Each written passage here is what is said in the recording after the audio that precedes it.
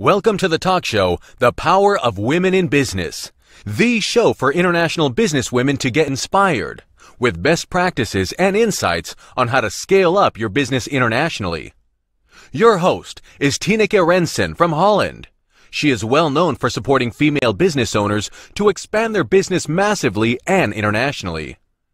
Tineke is an international business expert for 28 years and is the author of the book Maximum Business Growth for Women. It is time that women step up and create bigger businesses so that women can make a bigger impact in the world. Enjoy this powerful show as Tineke Rensen and her guest expert combine their brilliance in business to help you take your business to the next level. Hi, everybody. We have another episode of the Power of Women in Business talk show. And today we are at a special location. We are at the Women Economic Forum in Amsterdam, the Netherlands. And it's the 8th of March today, National International Women's Day. And I have yet a very interesting and powerful businesswoman, Carmen Breeveld and I'm feeling very honored. It, it, cost me quite some effort to interview you, uh, Carmen, so, but I'll introduce, to you, introduce you first. Carmen Breeveld, she is the founder of Triple Talent. This is an organization for young high potentials with an ethnical minority background. She is offering them trainee programs where inclusiveness and leadership are combined. In 2003, Carmen received the European Business Award from European Federation of Black Business Women for the most successful black businesswoman of the year. Carmen is also the president of Women Entrepreneurs Netherlands, which organizes trade missions, especially for female business owners to other countries in the world. Carmen is also the co-organizer of the enormous Win Trade Week in London, where businesswomen from all over the world gather during this week to do business together and to learn from each other. Carmen, welcome. Thank you for inviting me. I feel honored, like I already said, and I have uh, quite a lot of questions to you. I specifically would like to talk to you about your trade missions. But let's start. Yeah. Why are you so dedicated to organize so many things for businesswomen? Because that's how I know you. Yeah. Now, since 2003, when I was awarded, um, I feel the pressure to do something in return for women, Mm-hmm. especially women entrepreneurs. Since I was in a world that I have only to do with men, um, I had founded another company for 22 years. I had this company called Team Care. It was a specialized agency for human resource directors, recruitment and interim management. And I had only male customers. And I was awarded because I was doing so well in that business in combination with uh, other uh, non-executive positions that I had. For three, three years long, I was the advisor for Princess Maxima, who is now our current queen. And the judges liked it that I combined my business also with social Yep. uh, responsibility. And I thought after I was awarded, I have to do something in return for women, for women entrepreneurs. And since I'm a women, ent- woman entrepreneur myself, and I joined the freshly founded uh, organization, Federation of Dutch Businesswomen. And I joined them, and I was the chairwoman of the political co- committee, where we address um, legislation that is um, not working well for women in business or for business people in, in general. And I did very well, and in 2010 they appointed me as the national chairwoman. Okay. This is how it began. Okay, but what do you love about helping women and connecting women? No, I like to. Um, you know, I, I've learned a lot myself, being an entrepreneur myself for 23 years, building up a successful business, a seven-figure uh, revenue business, and I noticed that a lot of women they wanted to know how do you do it because originally I'm from Suriname. I live here for 39 years now in the Netherlands. Suriname is a former colony from the Netherlands, so I spoke Dutch my whole life. Um, a lot of women were approaching me asking me, how did you do it? How did you do it? Because what I see is that, what I notice is that um, there are a lot of women who are doing well, but they don't like it to be a role model. So they don't like to participate in interviews, television, radio. They want to work, um, you know, undercover. I say it sometimes, undercover. But I told them that there are women out there and children who needs role models. Yeah. So if we don't come out to share the knowledge and share our experience with them, uh, who else will they have to look up to? True. So I, I like it to share my experience. You know, I have made a lot of mistakes, of course. Yeah. Uh, when you're growing a business, uh, you hire people, employees, and I would love to share it with others so that they don't have to make the mistakes all over again. Yeah, and you know, I want to address another point. I think that's also a, a typical women business thing is that they don't, they feel they don't have the time. They, they are constantly overwhelmed by everything they think they have to do and need to do that they see no time in serving Yeah. others. Do you do you agree? I agree, and I recognize it with a lot of women that time management Yeah. is uh, lacking, and I think it's a, it's a matter of priorities. If you don't set your priorities, other people will do that for you. Yeah. So I was, uh, to give you an example, uh, for six years I was a member of the general board of the biggest employers association in the Netherlands. There were 143 men and seven women in Wow. that board, and Yeah. I was one of the seven women. During the six years, I had lunches with all the men, and the seven women or the six other women, they never had time to have lunch with me to discuss how we can work together. So in the six years, I met 143 men. I get to know them, we do business. All of them are representatives of a certain uh, sector. And um, it bothers me that the six women that were there, besides myself, didn't want to make time to get to know each other better. Yeah. So how we can uh, improve life for women if they don't have the time to share with each other? They have the time, but they don't. It's Give not a priority. It's Yeah. not a priority for them Yeah, exactly. because you cannot. Uh, it doesn't make sense to tell me for six years long that you don't have time for No, six years long. no. Then you ha- don't have the skills uh, for time management. Not true. I agree. So, uh, Carmen, you organize trade missions. Yes. Um, for those who don't know, it's that you. Oh, I'll, I'll let you explain. Why did you come up with the idea of starting a trade mission? And maybe first of all, explain what a trade mission is. Okay, a trade mission is um, a- a mission. You go on a mission. It's like when you go on a holiday, but it's specifically for business connections. So you go to increase your trade. You go to other markets to uh, bring your product to the markets, to other markets, because most of the women they trade locally. So they have a very small group of clients. If you want to extend your client uh, database, you have to go outside your comfort zone. You have to go uh, crossing borders. And um, I noticed that there were 950 uh, trade missions each year going from the Netherlands to other countries, and there were only men who are booking these trips. And I thought this is strange. And we had a terrible economic crisis, of course, economical crisis since 2008. And I saw a lot of businesses collapsing and bankrupt.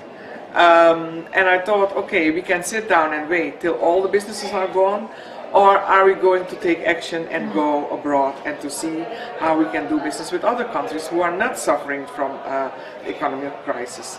So this is how it started in 2014, and it helped a little bit because I was invited by a Moroccan business lady uh, to Morocco. That was my first trip in uh, March 2014, and it was a trade mission that was organized by the Moroccan princess.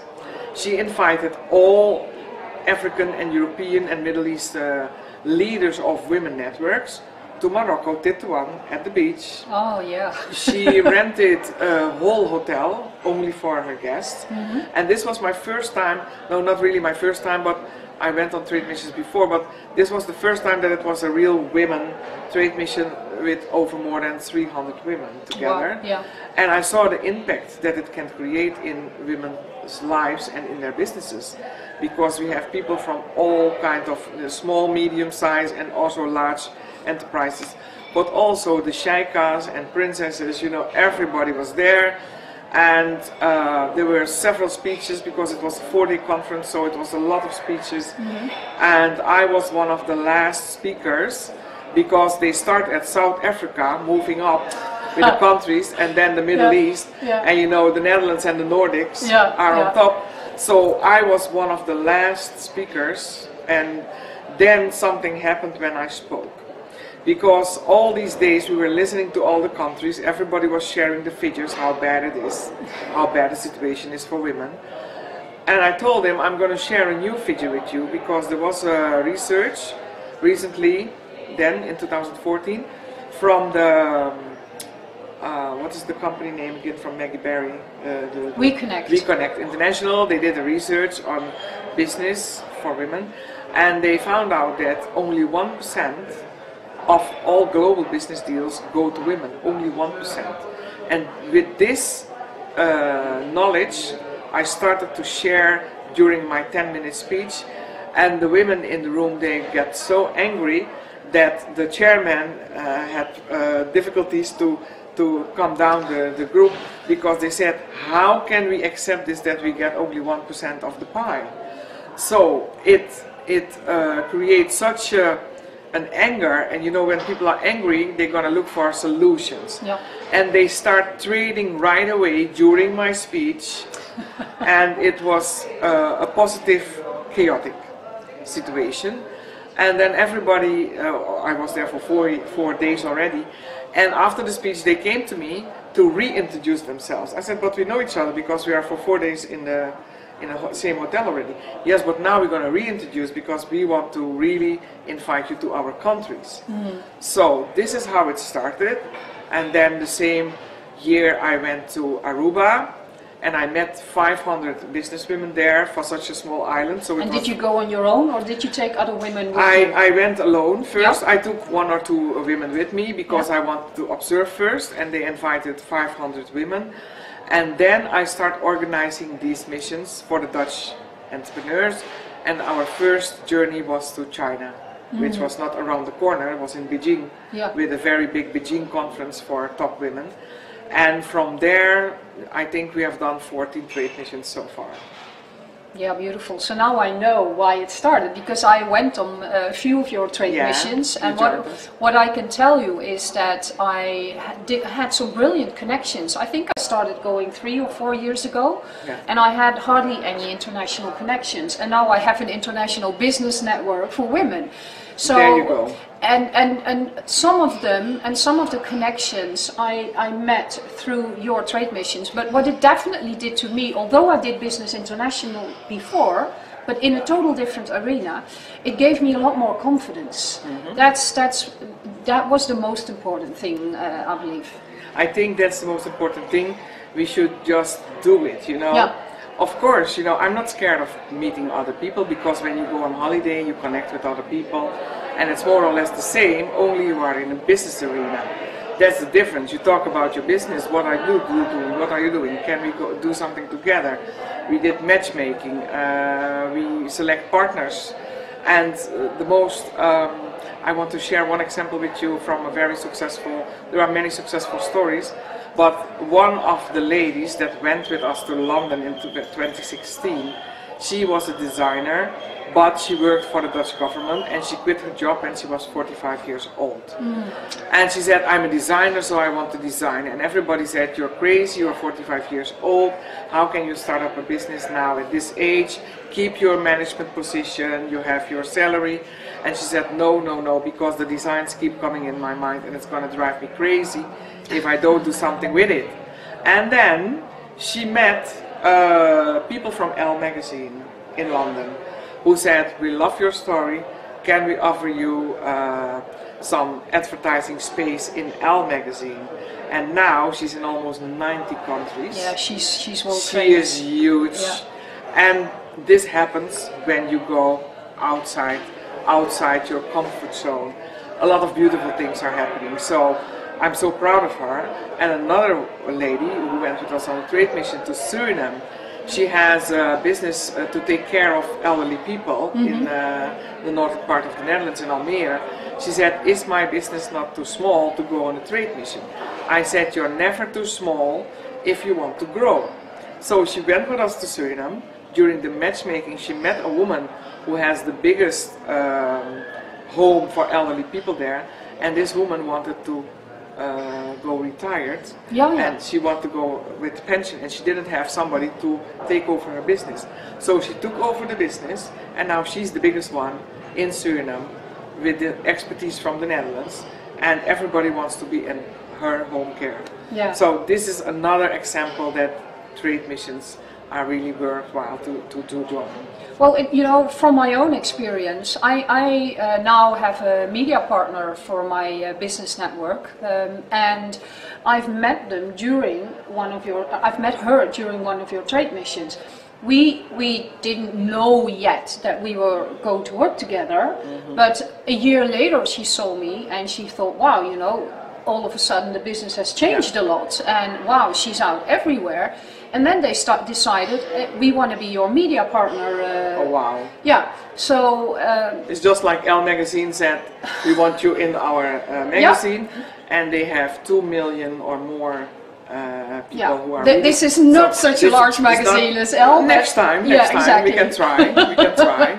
You never know. and and you know they sponsor and uh, oh, let me just a second.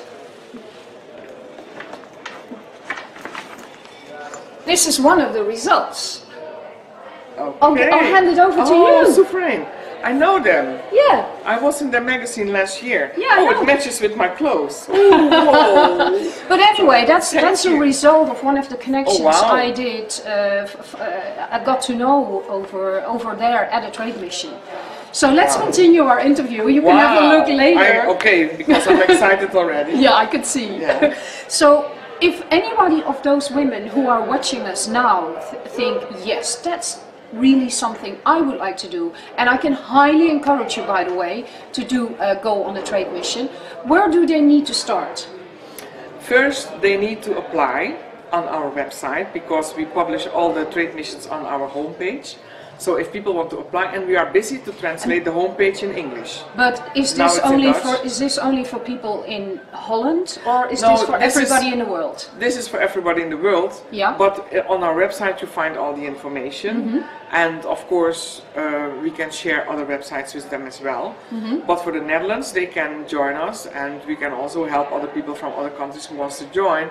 We can to book them in as well. It's Okay. no problem. It's no problem. All right, good. Yeah. Only there is a special arrangement for the Dutch people. There is a special arrangement with the Dutch government Yeah. for Dutch uh, Dutch-based companies, but um, we can help them anyway because we are inviting people from China, Hong Kong, Dutch Caribbean anyway, and uh, we also have people from Gambia and Ghana. So if they want us to arrange it for them, we can do it. Okay, so so now you need to tell them where. Yeah, they have to go to womennetherlands.com. And at this moment, we are busy translating the website, so I think about one week you will have the English version. But now it's only the Dutch version there. But if you wait a few days, a few more days, then But by, by the time the interview is uh, is online, by the it time will probably yeah, be. uh, it will be online as well. okay, good. So, is there anything else you would like to add to this interview? Anything else you would like to share of your tremendous international Um, and the experience? next, yeah, we, the, the the coming, uh, the upcoming trade missions are uh, the end of June, 24th till 28th of June. We have the Win Trade Week London with the the Win Trade Awards, and I invite everybody to nominate women who are doing extremely well. I will nominate you. Don't worry, don't you worry. You're doing very well. we waited for you to grow first. Yeah, of course. And now we will nominate you. No, no problem. And we wanted uh, to nominate, encourage you to nominate women who are doing very well in their business, and to join us there because this is something over 20 countries will be present there, and uh, we will have another trade mission to Brussels which good. will be uh, 25 till 28 of uh, September. Which is in Belgium, by It's the in. Belgium. Yeah. And Belgium is, of course, the headquarters. Brussels is the headquarters of the European Union. So if you go to Brussels, you will also meet a lot of people who are based there. So that's why we uh, choose Brussels for the second time to go there, because our members also want to get the connections with the European Union.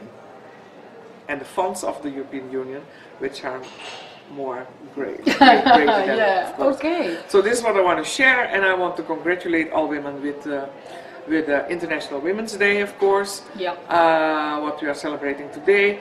Um, we celebrate it a little bit, but we know we are aware that there's a lot of work that needs to be done because we are really lacking after men. We really should increase our positions in companies, in executives and non-executive boards. Growing our businesses. Growing our businesses, increase your revenues. Yeah. So we should help each other, support each other, and work together because it's not only the big companies that get all the deals, but if a few SMEs join together, they also can get big contracts from the government and from the corporates.